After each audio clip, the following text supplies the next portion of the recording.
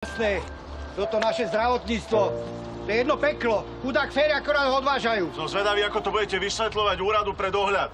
No. Udám vás, amatéri. Nech sa páči, udajte. No, aby som vás svinským krokom do baní makať a nie tu ľudí zachraňovať. Hej! Čo je, čo sa stalo? Sused Vičan skočil z okna a nezachránili ho. Hnusoba jedna, arogantná, hnusná. Hej, to ako sa správate, to čo má byť? Čo je, Dušan? Ako by si sa ty správal, keby ti nezachránili otca? Úplne normálne ako človek. Samozrejme. Hej, ty počúvaj, veď prišli neskoro. Ani prvú pomoc To nedali. je klamstvo, Áno. nebolo mu Sú pomoci. to lekári, určite robili, čo mohli. Hovno robili. Nahnal by som ich do uránových baní, nech vedia, čo je robota. Kamarát, do uránových baní pôjdeš ty aj pred súd. Všetci vieme, ako tu každý večer mláti ženu. Ty čo si dovoluješ, ty? Páne, upokojte sa, dobre? Tieto steny sú tenké a niečo mám už aj nahraté.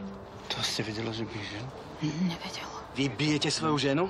Všetci si tu liečite frustráciu zo svojho posratého života. Toto je hrdinstvo. Tak ako to je? Bijete ju alebo nie? Vysvetlite mi to. Poďme. Ako to je? Bijete ju?